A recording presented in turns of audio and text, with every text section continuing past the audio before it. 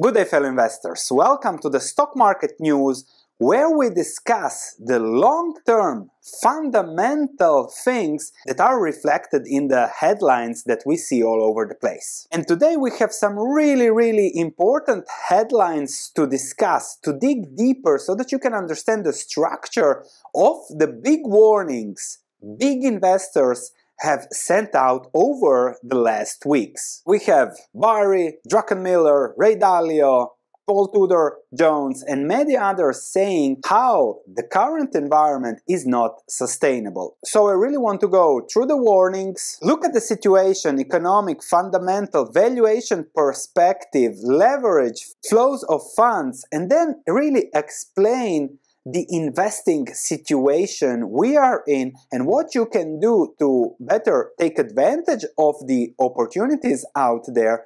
There are always opportunities out there, but also protect yourself from the downside as everyone is warning about stock market crashes and especially the dollar and likely the euro collapsing too. So before we start with the warnings, please smash that like button. It helps a lot in supporting the channel. And if you haven't subscribed, subscribe and smash that notification bell because I'm going to be doing fewer and fewer videos, but I'm going to increase the value and I'm going to pack them with value. So this is the channel to be subscribed to. and now, the first warning, Michael Burry, greatest speculative bubble of all time in all things. So he was very prescient with the housing bubble and now he says the bubble is in all things. And what is his focus? This is key here discussing crypto in this case, but leverage. Leverage is the key that Michael Burry focuses on because when there is leverage on one side, it pumps all assets up. But when you have to unwind that, everything goes down and very fast and very, very big magnitude crash. And also a big warning to retail investors, all hype speculation is doing is drawing in retail before the mother of all crashes because parabolas don't resolve sideways, so we have the upside and then the downside. Losses will approach the size of countries. History ain't changed. Of course, his tweets immediately have an effect on the Security Exchange Commission that regularly pays him a visit, which he finds lovely, and that is why he often shuts down his Twitter account. But also warning us on inflation. If inflation exceeds 2% too much or for too long, it might lead businesses and consumers to anticipate more inflation in the future, which can become self-fulfilling. So, Michael Burry, we have leverage, focus, situation, and then also unwinding of the bubble that we have been creating with more leverage with free money over the last decade. Which leads us to the next big name on the block, Ray Dalio, who says that he thinks we are building kind of a bubble. If we look at what he says, he is focused on the sensitive market because the Fed simply can't tighten. It's easy to say the Fed should tighten, and I think that they should, but I think you'll see a very sensitive market and a very sensitive economy because the duration of assets has gone very, very, very long. And the warning here is touching on low interest rates where everything is priced in for the very, very long time, low interest rate, current situation forever, which means that the Fed can't intervene, and we'll explain that a little bit more later, discussing the fundamentals with charts and everything. But that sensitivity is again a big warning. When the House of cards crashes, then it will be very, very ugly. It could be very, very ugly, but there are two options which we have to think about, more about that later. Ray Dalio adds sensitivity, which leads to the next step, going more into the government side of things with Druckenmiller and inflation high, the Fed must react. Can the Fed react? If they must, then markets go down a lot. But there is again a combination of fiscal and monetary policy stimulus which is the scariest combo ever and will lead to a dollar collapse. In a few years, you can expect 30% of budget to be spent for interest costs, which will have horrible implications for the United States dollar, will lose reserve currency status over the next 10-15 years. An example is that foreigners sold a trillion dollars of bonds when the CARES Act was launched. So really, really, this is the flows. The dollar didn't crash because all the stocks where the money went are on the New York Stock Exchange. But that might also change, especially if we have higher interest rates. And if you think this is just some guy talking on CNBC, no. This is Stanley Druckenmiller that gave the idea to George Soros, okay, let's short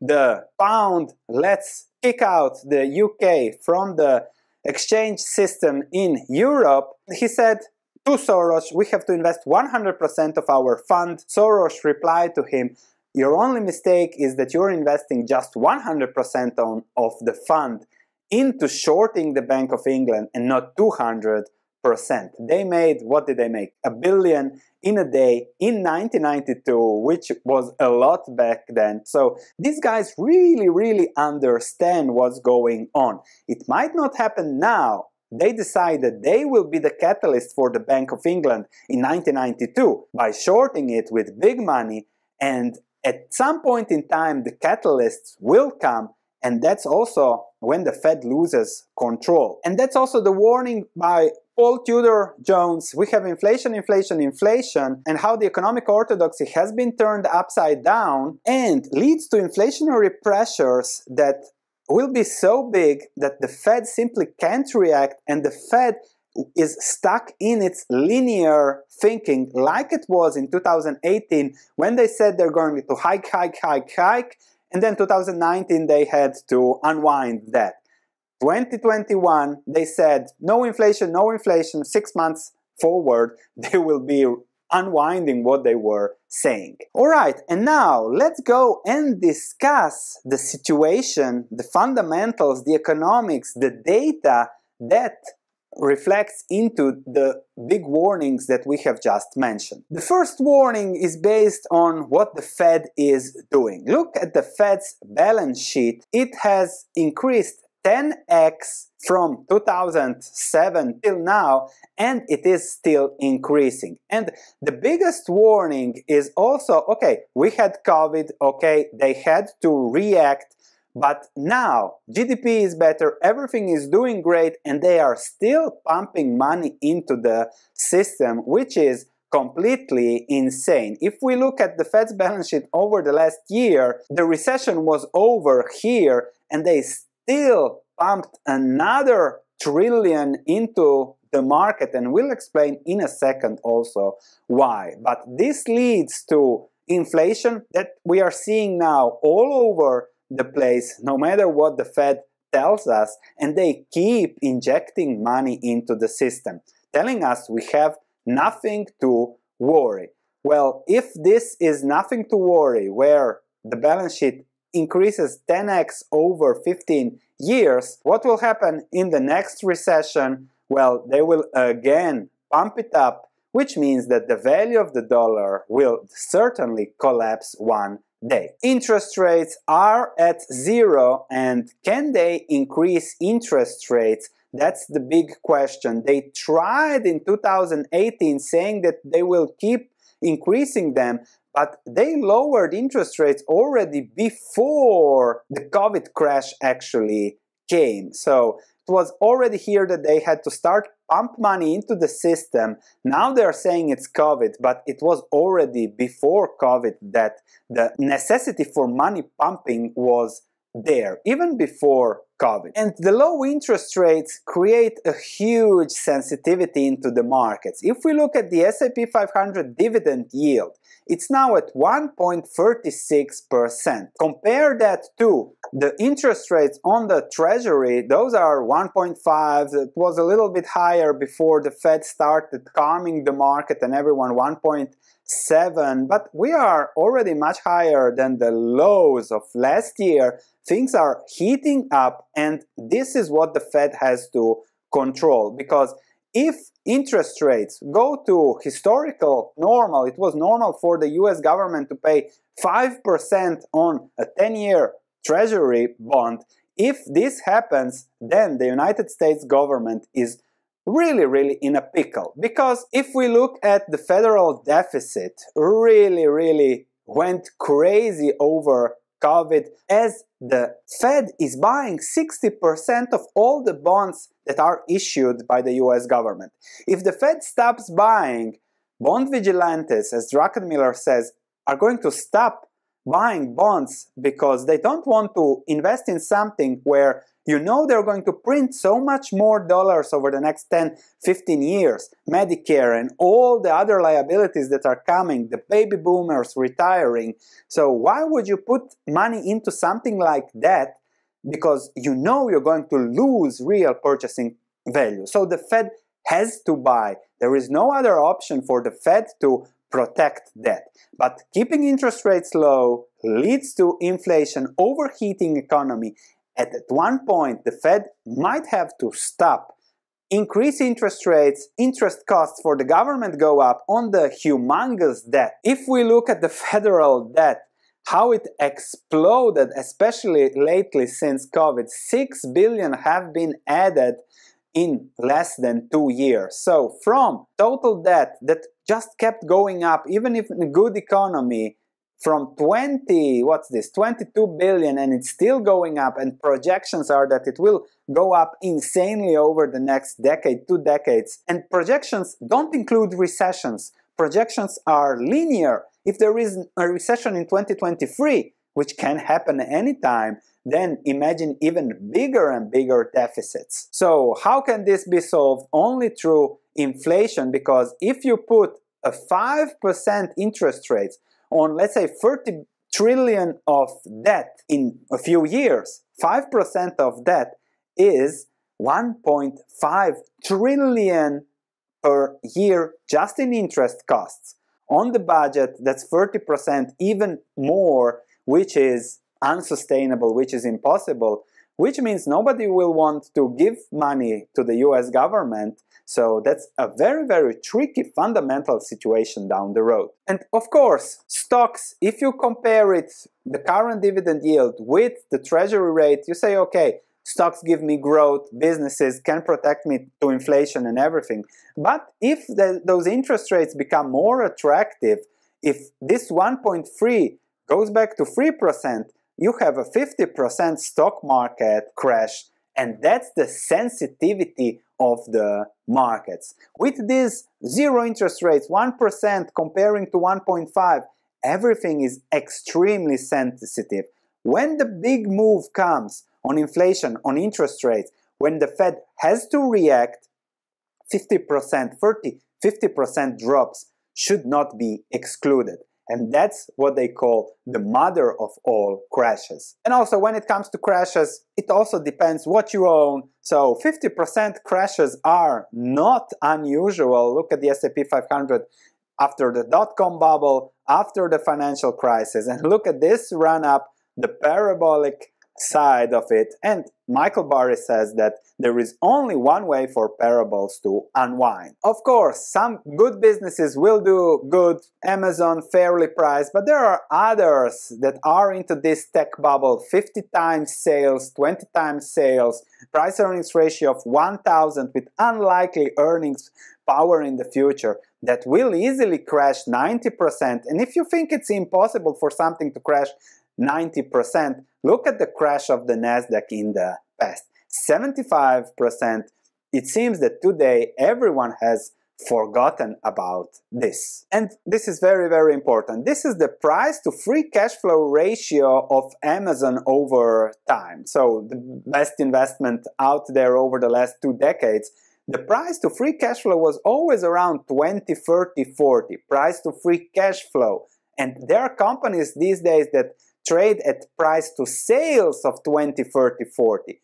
Amazon price to free cash flow of 20, 30, 40. So keep in mind the fundamentals with what you own. So we have explained Michael Burry, the sensitivity of the market and the potential for a crash, what can happen, and why it can happen from a Ray Dalio perspective. Now let's dig deeper into the government, Druckenmiller, Fed, inflation because that's key to understand and understand that things are not linear. Everything looks great, great, great, great, great, but the fundamentals are eroding and then at one point traders are going to say it's over like Druckenmiller went against the Bank of England so that's how it happens, and that's key to understand also when it comes to investing. We have a little bit earlier interest rate hikes by the Fed, just discussing, discussing, no doing, just discussing, and that's very, very dangerous. They have said, okay, we'll slowly, slowly increase interest rates just to try to calm the market a little bit, especially the bond market, to prevent higher inflation. But Druckenmiller says that it is impossible to prevent it. Sooner or later, it will come. And if we look at Powell, he's completely dismissing inflation. He says that it's not a concern, will wind down soon, and they're not going to do nothing on inflation fears alone. However, if we look at what's going on, we see stronger and stronger inflation. So from below 2 we are now close to 4%. Try buying something and you'll see higher and higher inflation. And that's exactly the warning from Paul Tudor Jones. We have the Fed that is even making Lego animated videos saying how you don't have to worry about inflation, don't worry, don't worry. But Paul Tudor Jones is saying how this was also the linear thinking of the Fed in 2018. They said, no, we're going to raise rates, raise rates, raise rates and then suddenly they had to completely change their thinking just a year later. And he says that we are now again in the same situation where they say there is no inflation, there is no inflation, there is no inflation, but that they will have to change their thinking very, very soon. Because this is again from Druckenmiller, because if we look at US nominal retail sales, there is the long-term trend of 3% growth that is stable, stable, stable. It took six years to get back to trend after the financial crisis, so the 3% growth trend. And now we have had this small interruption due to COVID, and the trend is now 15% above the 3% growth trend. And this is the ridiculous part. This is an overheating economy. The retail sales show really, okay, this is dangerous, but the Fed cannot react because of the debt and everything that we have seen there. And the Fed is buying 60% of the bond supply with 120 billion injections a month, which is something really, really crazy. And now, how to invest in this scenario? It is about what you own. So we don't know what will happen. We know what will happen. We don't know when it will happen. So you cannot time these things. And we'll make a video about market timing next week. And so the key is that you have to prepare for whatever and whenever it happens. As Michael Burry says, all these retail investors, cryptocurrencies, meme stocks and everything, that's the big, big danger. Listening to Druckenmiller, he said that he thought that the Japanese investor will come back to the stock market after the 1990s crash. That never happened. People remain scarred for life. Similarly, after the big depression crash, nobody wanted to invest in stocks from 1933 till 1960s, late 1960s. So all these retail investors will have big scars and few will be left to invest. There will be a very, very bad long period for investors ahead if you don't own the right things. If we go back to Jeremy Grantham, first the sensitive things crash. We see here NASDAQ crashing and only then the S&P 500 following. So Nasdaq crash, S&P 500 traded sideways, and only then the fundamentals eroded also the S&P 500. But you first see the first indications of a crash are the SPACs and ARK have already given up 20, 25, 30% of the first momentum trade. We'll see Whether they'll keep tanking or a little bit up and down, that's normal, but this is already an indication. And if we look at what interest rates have done when it comes to investing, US profits jump, jumped over the last few years, lower taxes, everything. So it's similar to pre-1997 average, 5% return on sales, then 7%. That's exactly what happened now and valuations expanded to on lower interest rates. And when that reverts, you have a very, very bad outlook for stocks. This is from Jeremy Grantham, GMO. Look at the seven-year asset class real return forecasts. Minus 7% for US equities, 8%. Negative also for international equities. A little bit of positivity in the emerging value, bonds and everything We'll have terrible, terrible returns long term. So you really have to focus on what you own and what performs good in inflationary environments, which is always quality and value. And GM also made a good projection here. What does well? You have to own businesses that offer quality and even better if that's packed with value. So quality and value destroyed the S&P 500 and everything else in these kinds of inflationary situations. Look at the better and better returns that quality had over just everything else. The average returns during inflationary periods were about 2.5 percentage points per year higher than just quality and then 4 percentage points per year different than the S&P 500. So the key is really to know what you own and then everything is much easier also from a strategical, from a personal, from an emotional perspective when it comes to investing. When it comes to owning, let's say, emerging market value, of course, you have to buy it when others aren't buying.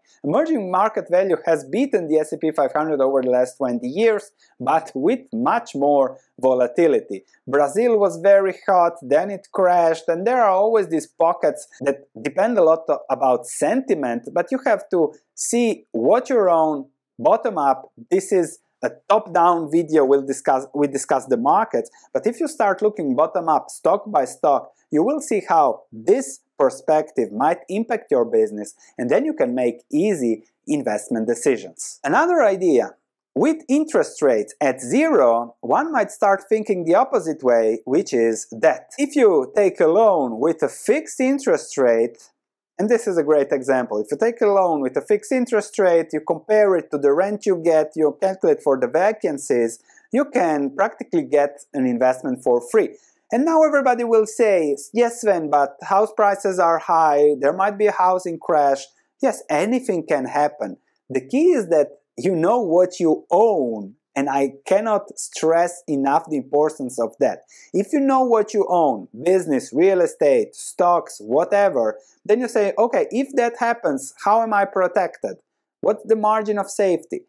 And that's quality and value and protection. Can I survive it? Yes, and that's how you accumulate wealth over time. The key is to do investing, not to speculate. And when you invest, when you turn your mindset on the investing side of things, everything is so much easier. Because the key is to accumulate wealth over time, no matter what happens. We don't gamble, we maximize the odds of things working out great for us.